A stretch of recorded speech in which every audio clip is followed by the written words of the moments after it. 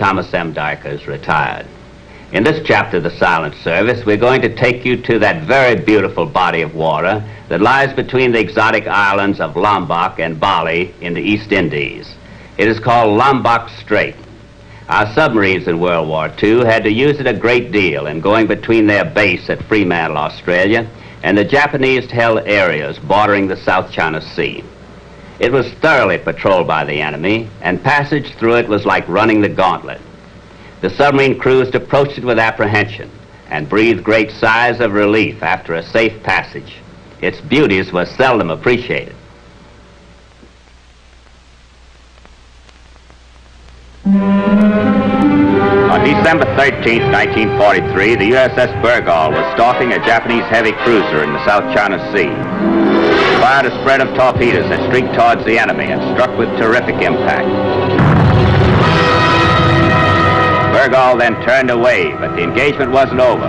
The enemy still had some fight left. The submarine was hit by an 8-inch shell that tore a gaping hole in the side. Fortunately, the hole was above the water line, but the Bergall was unable to dive. She should have been trapped, but miraculously, she passed unmolested through 1,200 miles of enemy-held waters.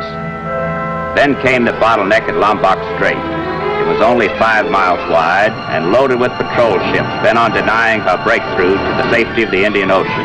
These little ships were about to bring an end to this epic performance. It looked like the string had run out for the Bergall. But they wouldn't give up without a fight.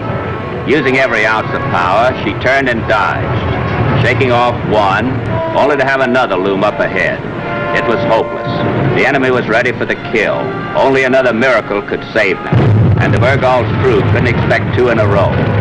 But when the firing started, the shells didn't come towards Bergall. In the darkness, the Japanese had become confused. They were shooting at each other. In the melee, the Bergall broke into the clear, and the miracle was complete. They were happy to be alive when they tied up at the base, but bitter that nothing could be done to clear the patrol craft from Lombok. Next time, they might not be so lucky. Neither would their friends in other submarines. The Bergall skipper was Commander John M. Hyde of Flushing, New York. The executive officer was Bob Eisen, an ex-football great at Georgia Tech. The diving officer was John E. Drew of Orange, Connecticut. The torpedo officer was Edward G. Welch of Lafayette, California. Coffee, gentlemen? Did Admiral Christie roll out the red carpet for you, Captain? Just about. I guess he feels a little responsibility for me. Oops. How's that? Well, years ago, he was the one who talked me into going into submarines. well, in that case, Captain, you might suggest that he get the air boys to clear out those patrol boats in Lombok before we go out again. That's a job I'd like for us to do. I've been laying awake dreaming about it every night. If they hadn't started chasing each other around in the dark. I'd like a crack at him, too. But they draw so little water. Torpedoes would run right under them. And the boss is right when he says a submarine is too valuable to risk against them in a gunfight. I'd still be willing to try it any time, even with brickbats. Captain Hyde, your driver reporting for duty. It's Nellie! Battle station. Don't you dare! Don't you dare! Captain Hyde! All right, Nan. We're not going to pull any tricks on you. Well, you'd better not. I had quite enough last time. All right, boys. Hands off my driver. Now, Captain, why didn't you tell us Nan was driving for you again? She said she was strictly avoiding you vultures. Why, Nan, you're still not mad at us, are you? Oh, it's just a joke. Come on, Nanny. Where's your sense of humor? Sit down and thaw out, and I'll pour you a cup of coffee. You know, you Yanks carry a joke too far sometimes. Every laugh in the driver corps is frightened to death of you. We never know what's going to happen next. they love it and you know it. Besides, we haven't heard anybody yet, have we? No, I guess not. Perhaps I should be nice to you. They tell me you're real first-rate heroes. For once, the rumor factory has it right. They're even throwing a party tonight in our honor. You're coming, aren't you? Ah, after what you did to me the last time. well, you can bring Red Ford. He ought to be able to take care of you. oh, Red could, all right. Only he's at sea. At sea? What's that swivel chair sailor doing at sea? It's something very important, and I won't go without him. Well, Well, isn't there anybody else you'll go with? We'll even invite your father. Oh, he's in New Guinea. So I would go with Captain Hyde if he'd asked me. You've got yourself a date, Nanny. Oh, get this. Sherry.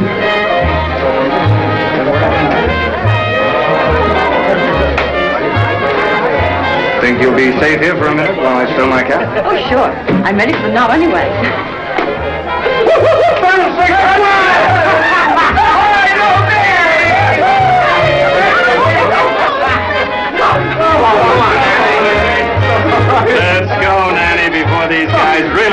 Something to get you go. Come on, I'll buy you a drink. Come on, let's go get it.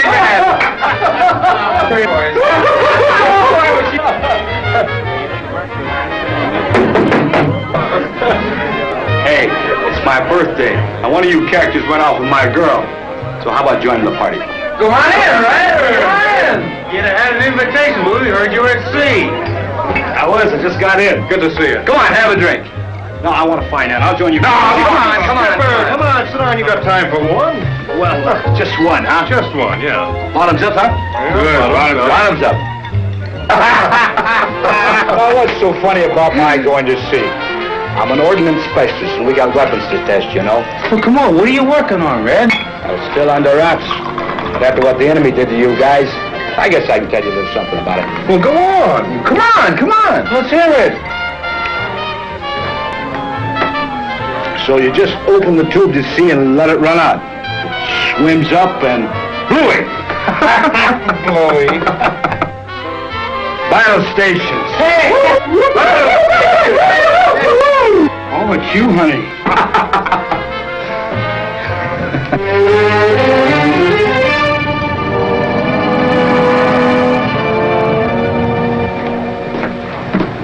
Oh, good morning, Captain. I've been looking all over for you. I just saw Nan in her car over in the dock, so I figured you were aboard. She's still mad.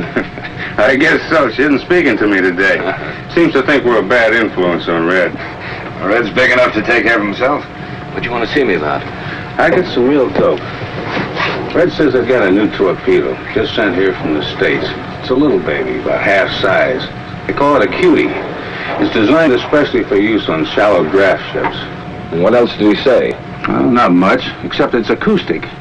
It listens for the target's propeller noises and homes in on the sound. This is the answer to our prayer. Now those patrol boats in Lombok will really get what's coming to them. Do you think the Admiral will let us do it? I don't know. But it's sure worth a try. I'll see him this afternoon. Good. While the tender crews worked to repair the hole in the Bergall's hull, a skipper had been working on the Admiral.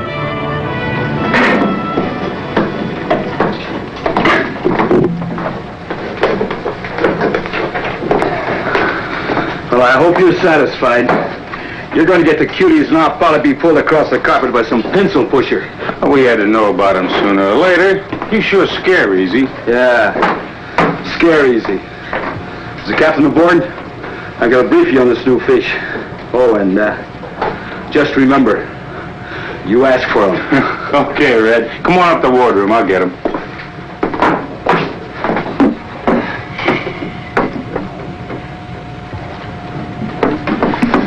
Now let me get this straight. You say that this torpedo has to be pretty close to the target to hear it, yes, sir. The closer, the better. and they only run for about five minutes. That's right. It circles until it hears something, and then it heads for the sound. Well, what's to keep it from hearing us and coming home to roost? Nothing.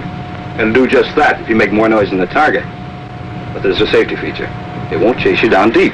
You hope. What a Rube Goldberg. You realize what this means? This means that we put ourselves close ahead of an anti-submarine vessel, go down deep and pray that this contraption gets him before he gets us. That's right, Captain.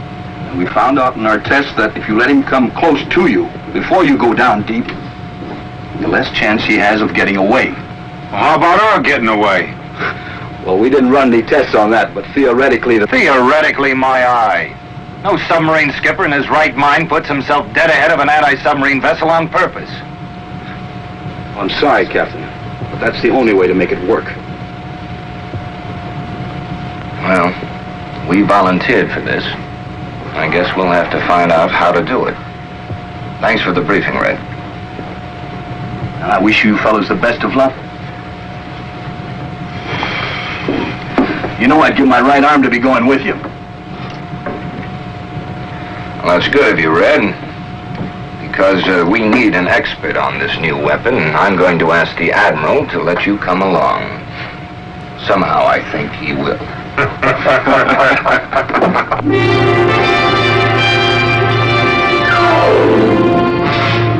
Bergall got underway from Fremantle and headed north up the coast of West Australia, bound for Lombok Strait.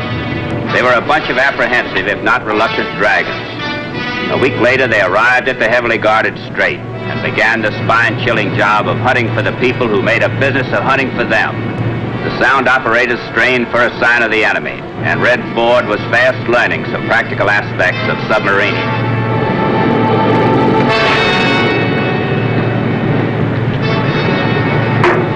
Didn't they tell you in midshipman school what the first rule in sailing is?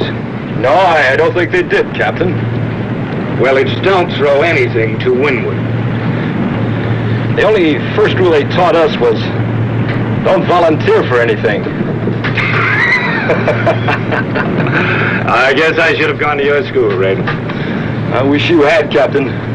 I sure wish you had. Airplane on the radar. She's coming in. Man the bridge!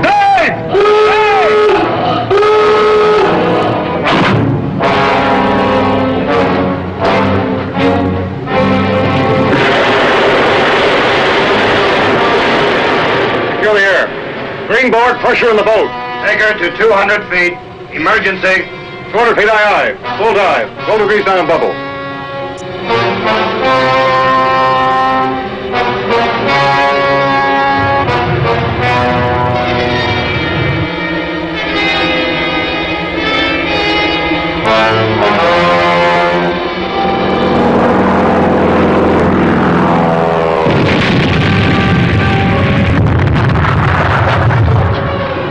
A close one.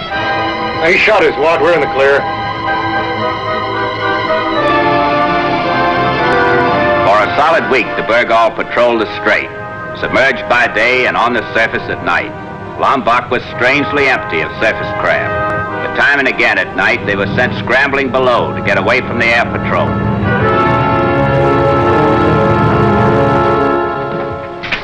What are you doing, Red? Playing around with an idea. I wouldn't disturb him, Captain. He's trying to dope out a new homing device. This one's a rocket that homes on aircraft. Now you're cooking, boy. You design something like that, I'll see that you're made an honorary submariner. Provided we don't have to ride up in front of the plane to deliver it. you know, I got a feeling if more of our ordnance men were made to ride these boats, we'd really get some arms development. Yeah, sure. There's something will interest you here. The Admiral wants us to get some prisoners from anything we sink in the straits. They need them for intelligence purposes. No doubt they want nothing less than a captain. Well, it looks like we're going to have to shoot down a plane to get anybody. Wonder what happened to all those patrol boats. And if I know, they probably heard we were coming. There must be a party over on Bali, and they just don't want to leave. Captain speaking. Very well. I'll be right up. It looks like the party's over. Good.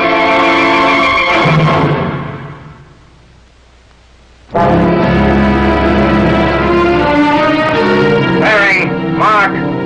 057. Range, mark. 2500. Angle on the bow, 15 points. We should end up dead ahead of him. The target using his sound search gear? Not yet, sir.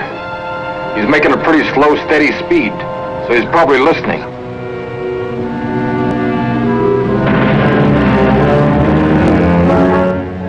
Rig for silent running. Rig for silent running. Red, are those cuties all set to run? All set. They'd better be if we're gonna get out of this spot. Take her down to 150 feet. And be quiet about it.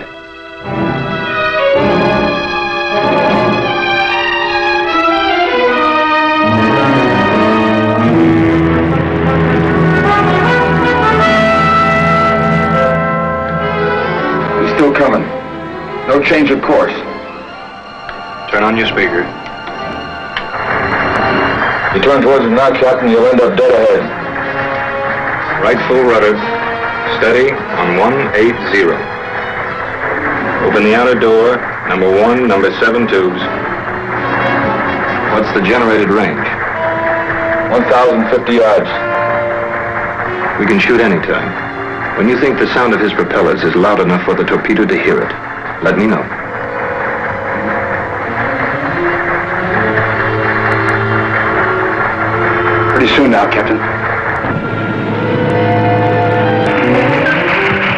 He up and started his search gear. Captain, I think that We can't wait any longer. Stand by, number one. Shoot. Now pray that it works. Can we hear our torpedo? No, sir. Nothing. Number one torpedo still in tube.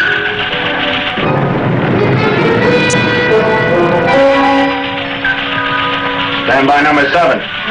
Shoot. Number seven is running.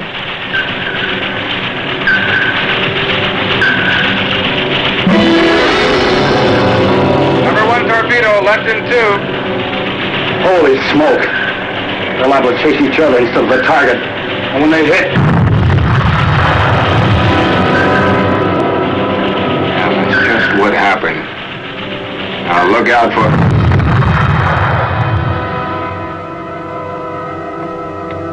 His propellers have stopped. It sounds like he's breaking up.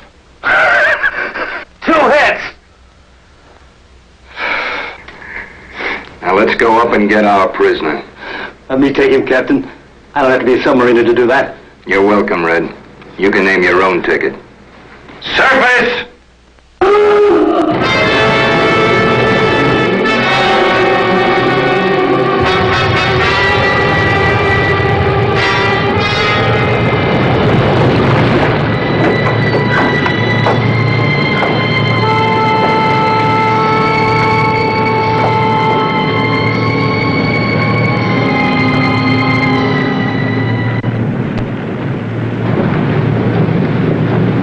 Were too much for that little fellow. Not a single survivor. Those cuties really work. We ought to find ourselves another customer. Red, you go to the head of the class, boy. Come on down below and I'll buy you three fingers of the best coffee on board.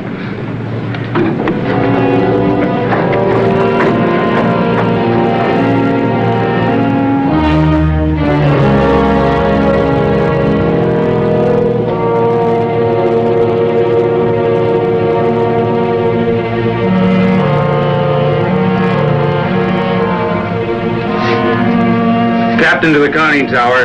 Captain to the conning tower.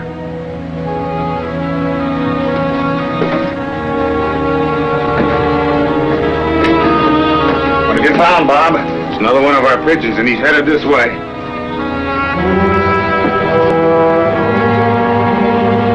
Sound battle stations. Battle stations, torpedo! Battle stations, torpedo! The angle on the bow is about zero. What are you laughing about? Battle stations! I can't help thinking of our other pigeon, Nanny.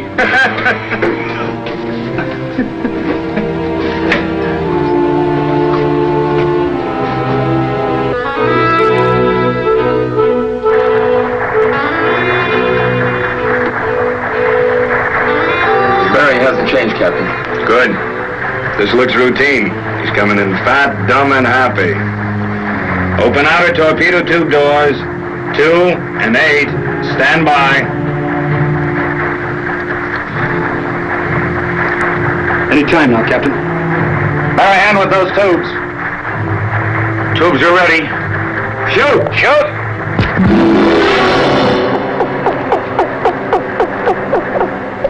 What's that? It's a school of porpoises. The torpedo's heading for the porpoises.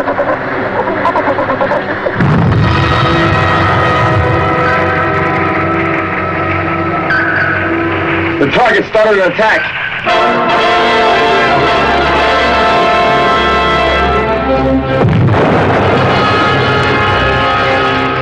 You and your gadgets. He's turning around. Yeah, he's starting another run on us. Stand by eight. Stand by eight. Shoot, shoot.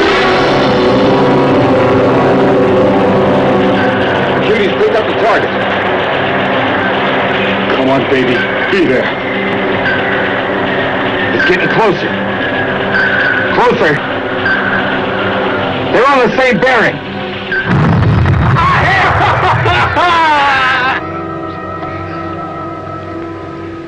His propeller stopped turning. Now let's get upstairs and see what we've got in the bag.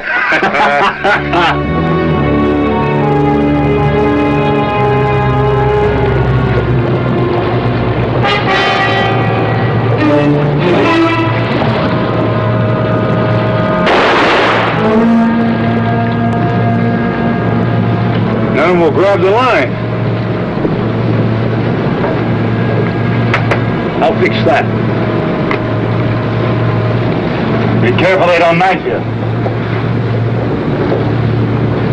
Watch out for aircraft. They'll be around soon.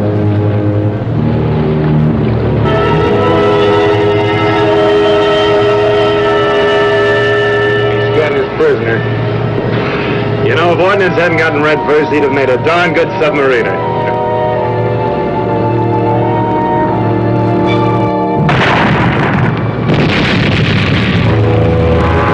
Another department heard from.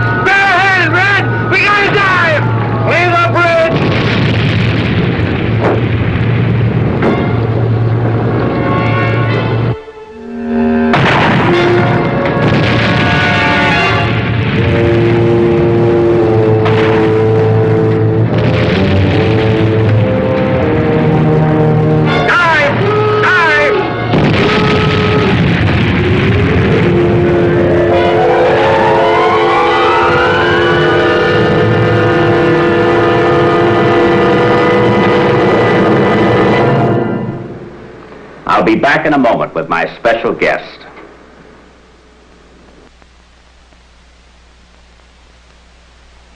When a unit in modern warfare has been given a real bad time by the enemy, there's seldom any opportunity for the individuals involved to come back and get satisfaction.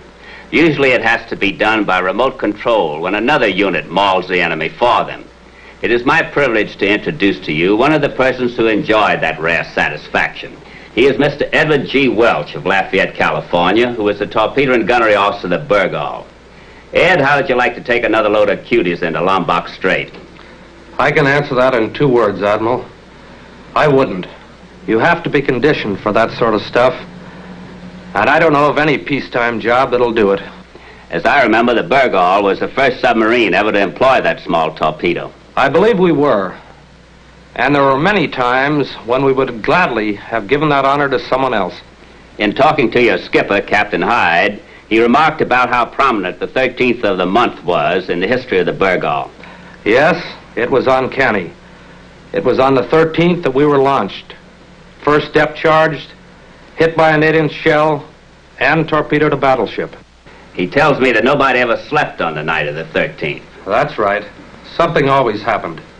To commemorate that, when the captain was detached, the crew presented him with a watch engraved with a big 13 on the back. Well, Ed, I'm glad it was a lucky 13, and it's been a real pleasure to have had you with us. Thank you, Admiral. Please be with us again for another chapter of the Silent Service.